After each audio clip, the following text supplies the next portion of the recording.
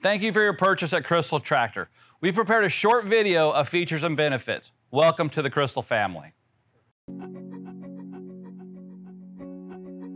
Hi folks, Dave here with Crystal Tractor. Congratulations on the purchase of your new Mahindra 1640.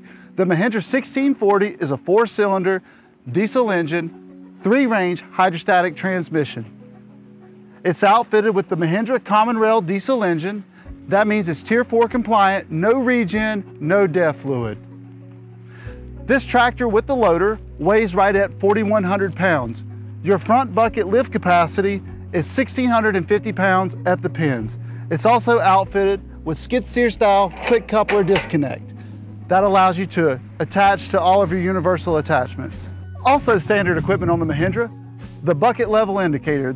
When the rod's flush to the top, you know your bucket's level with the ground. Flat floorboards with rubber mats for vibration dampening allow for entry from the left or right side of the tractor, also equipped with tilt steering. As we move to the rear of the tractor, you'll notice this tractor comes with telescopic three-point hitch. Not only a time saver, but more importantly, a back saver. Integrated joystick controls for the front loader allow you to rest your elbow and still control the front bucket, unlike many competitors' tractors which have the joystick coming directly off of the loader frame. Again, three-range hydrostatic transmission outfitted with the heel and toe pedal with braking that can be segmented for left and right braking for certain applications. Quick connect hydraulic couplers. So here I am in the cockpit of the 1640. I'll just adjust the seat, press in the clutch, turn the key, allow just a moment for the glow plugs, and then fire the tractor up. For my RPMs, I do have a throttle control here by my right hand, and of course my loader controls. This loader is also equipped with a detent feature. I can lock out my front bucket and the loader will rest dead weight for back dragging. Three-point lift control, down, up.